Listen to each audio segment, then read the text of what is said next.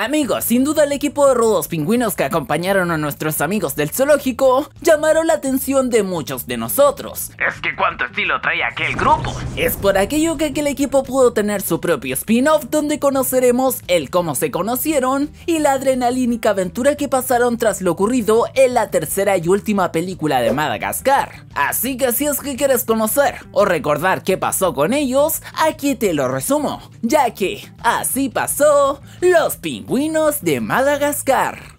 Esta historia comienza hace muchos años atrás en la Antártida. Allí habían tres pingüinos, Skipper, Kowalski y Rico. Ellos trataban de ser distintos al resto de los pingüinos. Rechazo la naturaleza. Un día vieron pasar un huevo, pero ninguno de los pingüinos decidió hacer algo. Tras esto, Skipper se llenó de valor y decidió ir tras el huevo. Pero el huevo cayó en un barco abandonado lleno de focas leopardos, el principal depredador de los pingüinos. Bueno, lo intentamos. Era un gran peligro, pero aún así Skipper con ayuda de sus dos amigos deciden que deben salvar el huevo. Pero mientras deciden cuál es su plan, los hombres que grababan para un documental los empujan y ellos caen al barco. ¡Desgraciado! Allí logran salvar al huevo, pero terminan en un pedazo de hielo sobre el mar, apartado de todo.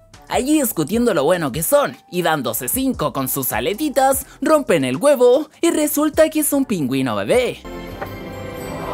Quien al verlos les dice que sí ellos son su familia, a lo que ellos responden que claro que son familia. Los pingüinos estaban perdidos, pero eran optimistas de que algo grande los esperaba. Ya en el futuro, estos se encontraban en el circo junto a Alex, Martin, Melman y Gloria, aunque algo cansados de aquel ambiente. O bueno, la gran mayoría. Ese día era el cumpleaños del pingüino que habían adoptado, Cabo, y su forma de celebrarlo era entrando a la bóveda de oro de los Estados Unidos, ejecutando un plan sorprendentemente bueno y con un cabo deseoso de sentirse parte importante del equipo. Así logran entrar a la bóveda. Sin embargo, lo que querían era una máquina de quesitos que había en el lugar. ¡Qué rico! Mientras Cabo trataba de sacar su regalo, termina dentro de la máquina. Cuando el resto de los pingüinos se acercan, un pulpo los toma uno a uno dentro de la máquina y los secuestra llevándoselos a Venecia. ¿Pero qué ha pasado? En Venecia se dan cuenta que fueron secuestrados por el Dr. Octavius, es decir, Octopus. Bueno, en realidad, el Octopus de los pingüinos. Se ven muy... Eh, similares. Quien realmente era un pulpo llamado Dave. Y pues aquí realmente ni Skipper, ni Kowalski, ni Rico, ni Cabo recordaban quién era este. Ni siquiera sé quién eres. Eh, entonces fue cuando él les contó que los había conocido en el zoológico de Nueva York. Él era una sensación allí, pero cuando ellos llegaron, su vida empezó a ser solitaria y sin amor. Y eso le sucedió en cada zoológico que estaba, es decir, ser reemplazado por los pingüinos. Esa es una historia de origen brutal. Tras esto decidió vengarse, hizo una poción verde para destruir a los pingüinos. Aunque ahí, gracias a la ayuda de un poco de quesito y rico, los pingüinos escapan con la poción, aunque unos pulpos enviados por Dave los comienzan a perseguir. ¡Corre, perra, corre! Tras tremenda persecución que se arma, estos terminan no teniendo salida, aunque ahí los pingüinos fueron rescatados de forma sorprendente por unos animales pertenecientes a la ráfaga polar.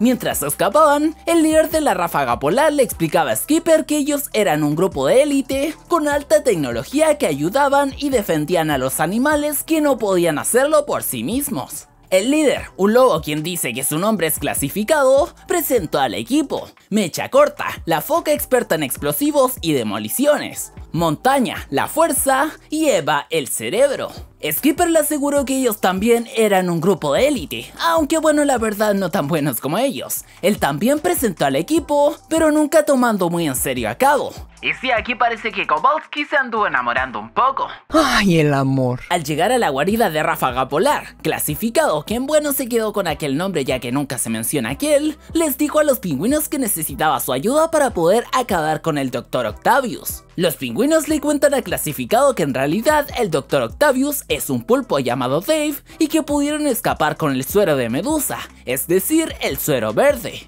Sin embargo, en ese momento Dave llama a la guarida de Ráfaga y pues le cuesta un poco ocupar el computador, aunque ya bien, les informa que tiene mucho suelo de medusa que piensa usar para acabar con todos los pingüinos. Esto ya es demasiado. El equipo de Ráfaga Polar se da cuenta de que están desapareciendo pingüinos, así que se separan, y Skipper, Kowalski, Rico y Cabo también, aunque son bastante desastrosos. Sin embargo, clasificado los duerme y los envía a Madagascar. Y si aquí yo me pregunto por qué específicamente a aquel lugar, porque bueno, debería haberlos enviado a la Antártida, pero bueno, así lo quiso el guion. No sé, Isma. No pienso que sea por la magia del cine. En el camino los pingüinos se despiertan y escapan, terminando en un desierto. Y si durante aquel descenso tuvieron bastante, pero bastante suerte. Esto ya es demasiado. Mientras tanto, el pulpo Dave sigue raptando a los pingüinos del mundo y el equipo Ráfaga Polar les pisa los talones sin poder alcanzarlo. Ráfaga Polar se entera que Skipper, Kowalski, Rico y Cabo escaparon y que no van donde él los había enviado. A veces cuando planeas una cosa, te sale otra completamente diferente. Skipper, Kowalski, Rico y Cabo están en Shanghai, aunque ellos creen que están en Irlanda. Allí descubren por las esferas que coleccionaba Dave, y que pues Rico se terminó comiendo, y ahora comienza a escupir que el próximo lugar que atacará es Shanghai. Tras esto logran conocer la ubicación donde están los pingüinos, y pues aquí Cabo siempre trata ayudar, pero Skipper no lo toma en cuenta. Oh, pobrecito. Una vez llegan al lugar, localizan a Dave y llevan a cabo un plan en el que Cabo debe disfrazarse como uno de los pingüinos del acuario, es decir, como una sirena a manera de distracción. Eso se le llama estrategia. Al poco tiempo llega Ráfaga Polar, pero ya los pingüinos tienen atrapado a Dave. Sin embargo, Dave logra escapar, llevándose a todos los pingüinos del lugar, incluido Cabo. Skipper, Kowalski y Rico tratan de alcanzar a Dave, pero no lo logran. Sin embargo, ven la nave de Ráfaga Polar, se montan y tratan de pilotearla, pero no tienen ni idea de cómo hacerlo. Cuando Ráfaga Polar sale y se dan cuenta de que el grupo se lleva la nave, tratan de detenerlo, pero luego de varios problemas, los pingüinos destruyen esta. Y sí, tremenda cagada. Ah, ¿por qué no me sorprende? Todos terminaron naufragando, aunque claramente no en la misma igualdad de condiciones. Ráfaga Polar logra arrastrar a Dave gracias a un localizador que pusieron en cabo Skipper, Kowalski Rico. Skipper le reclama, pero clasificado le dice que eso ayudó a localizar a Cabo, que por eso es necesario que dejen todo en manos profesionales. Y tras esto, Skipper se comienza a sentir algo inseguro. Mientras tanto, Cabo y el resto de los pingüinos sirenas llegan a donde Dave tiene a todos los pingüinos secuestrados. Allí el mismo Dave les muestra que hace su suero de medusa, que básicamente es convertirlos en monstruos. Por una imprudencia de Cabo, Dave lo descubre. No. Afuera, Skipper, Kowalski, Rico y la ráfaga polar evalúan el entorno para saber cómo entrar. Clasificada y Skipper empiezan a discutir por los roles de cada grupo dentro del plan. Por eso acuerdan que el grupo que liderará la operación es quien tenga el mejor plan. Skipper, Kowalski y Rico presentan el suyo, lleno de improvisación y nada sofisticado. Por otro lado, Clasificado presenta el de su equipo, lleno de táctica y tecnología, dejando a Skipper, Kowalski y Rico impresionados, pero tratando de disimular. Skipper trata de minimizar el plan de Ráfaga Polar, pero Clasificado le hace ver que gracias a su plan de Shanghai es que secuestraron a Cabo, lo cual lo hizo sentir culpable y decidió que esta vez no harían su plan, sino que seguirían las órdenes de Clasificado, aún a pesar de las protestas de Kowalski y Rico. Las decisiones difíciles requieren voluntades fuertes. Skipper, Kowalski y Rico inician el plan, distrayendo a los pulpos guardias de la entrada de una manera bastante particular. Es allí cuando la ráfaga polar entra en acción. Y al parecer el plan va según lo establecido, pero al llegar con Dave, este los atrapa. ¡Ya valió madre! A pesar de esto logran escabullirse de los pulpos y esperan que Ráfaga Polar destruya el submarino y salgan con cabo, pero esto no sucede y los pulpos los capturan. Al llevarlos dentro del submarino, los pingüinos se dan cuenta que la Ráfaga Polar fue secuestrada y encerrada. Skipper, Kowalski y Rico fueron llevados con Dave, quien les mostró lo que iba a hacer con Cabo. Y bueno, a pesar de que intentaron impedirlo, Cabo terminó siendo desintegrado. ¡No, por favor, Dios, no! O por lo menos eso es lo que todos pensaron, ya que realmente Cabo logró zafarse y escapar. ¡Ay, babosa, me asustas, burra! Cabo empezó a recorrer el lugar y someter a los pulpos, así que encontró a los miembros de Ráfaga Polar, quienes estaban a punto de morir, pero Cabo los salva. Sin embargo, ellos en vez de salvar a los demás se quieren ir a su guarida a prepararse para rescatarlos. Cabo les dice que Skipper jamás dejaría atrás a un hombre. Aún así, Ráfaga Polar se va, pero Cabo avanza a rescatar al resto. Porque es lo que un hombre hace. Skipper, Kowalski y Rico están en manos de Dave, que les asegura los convertirá en monstruos para que los desprecien. Todos los noticieros aseguraban que el Dr. Octavius había encontrado a todos los pingüinos, en eso aparece el Dr. Octavius con el submarino ante un público eufórico que esperaba que salgan los pingüinos. Mientras tanto, Cabo trata de alertar a Skipper, Kowalski Rico del peligro, pero no lo escuchan y la máquina les echa el suero de medusa. Cuando todos los pingüinos salen del submarino, lo hacen infectados por el suero, por lo que ya no son lindos y tiernos, sino feos y violentos. Todos los humanos corren y gracias al Dr. Octavius llaman a los exterminadores para que se los lleven. Cabo sale del submarino robándose la máquina de Dave y localiza a Skipper, así que va hacia él y le habla. Allí él recuerda a Cabo y su ternura y se le pasa el efecto al suero. Eso sí que es conveniente. Lo mismo hicieron con Kowalski y Rico. Así una vez se lograron reunir, Cabo les cuenta que su plan es revertir el rayo de Dave con mucha ternura, ternura la cual proporcionaría él.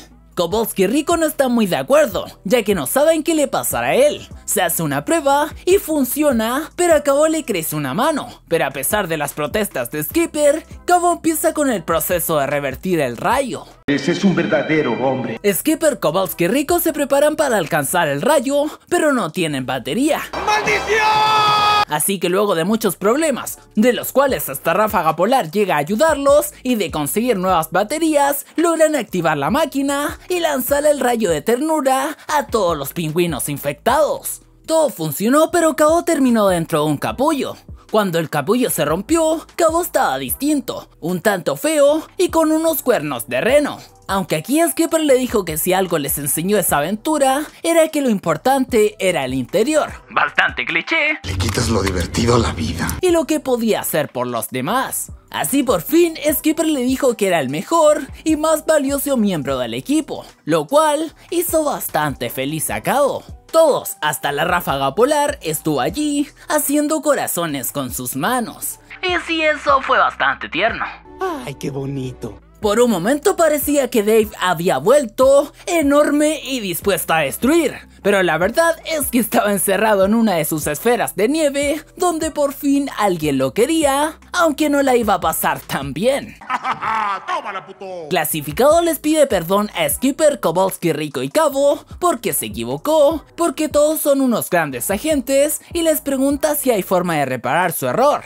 A lo que Cabo respondió que querían propulsores, y es así como los pingüinos volando regresan con sus amigos. Ay, bueno, durante aquel momento Kowalski también se pudo llevar su recompensa.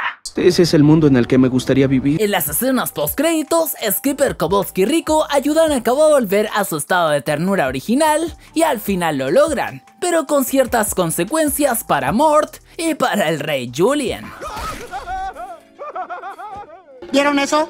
Eso es ser bárbaro. Y bueno amigos, con esta película se podría decir que se cierra toda la saga de Madagascar. Hasta la próxima se despide He-Man deseándoles buena suerte y buena salud. Así que por favor, si es que les ha gustado este y los videos anteriores, por favor dejen su grandísimo like. Coméntenme qué otra película, duología, saga, trilogía les gustaría ver en el canal. Y como siempre los dejo invitado a que se suscriban activando la campanita y así recibir nuevos videos a cada rato.